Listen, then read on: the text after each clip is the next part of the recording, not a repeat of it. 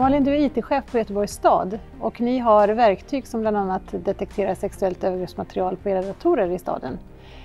Varför är det viktigt att, eh, att en kommun eller ett företag jobbar med de här frågorna? Till att börja med så är det ett politiskt beslut. Eh, våra politiker har beslutat att vi ska göra detta för de tycker att det är viktigt. Och det är vårt uppdrag att se till att säkerställa att vi har så bra lösningar som möjligt för att förhindra att sexuellt övergreppsmaterial kommer i händerna på, på våra medarbetare. Sen tycker jag personligen att det är väldigt, väldigt viktigt eftersom vi arbetar väldigt mycket med barn. Göteborgs stad finns till för barn. Och det är viktigt att vi säkerställer och visar att vi står bakom de lagar och regler som finns och även de värderingar som vi har i staden. Har ni sett någon effekt på det IT-skydd som ni har idag? De effekter vi har sett är ju dels konkreta fall som vi har haft och som även till viss del uppmärksammat. Men också de effekter där man jobbar väldigt mycket med utbildning och att göra detta uppmärksammat i verksamheten. Man pratar ju mycket mer om någonting som man har i sin verksamhet än någonting man inte har. Så jag skulle nog vilja säga att vi ser bra effekter.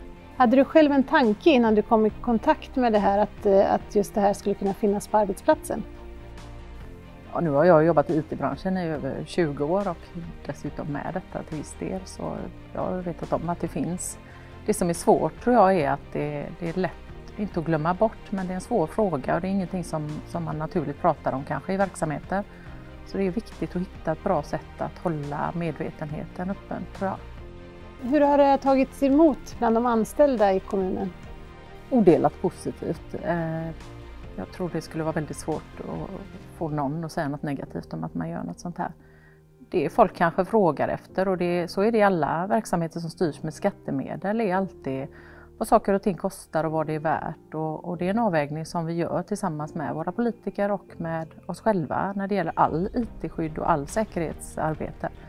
Mycket förebyggande arbete kostar ju pengar och energi och effekterna ser man kanske i uteblivna brott eller uteblivna risker och det är också, det är också intjäning. Eh, Malin, vad tar du med dig från den här dagen? Möjligheten att få komma och prata om detta gör ju att jag faktiskt pratar mer om det i min egen organisation och, och det har gjort mig uppmärksam på, på att löpande ta upp den här frågan. Jag ser också att det är väldigt trevligt att träffa andra kollegor i branschen och även andra människor som, som jag är djupt imponerad av hur mycket de brinner för de här frågorna och, och det engagemang som finns i frågan. Det gör mig stolt och glad.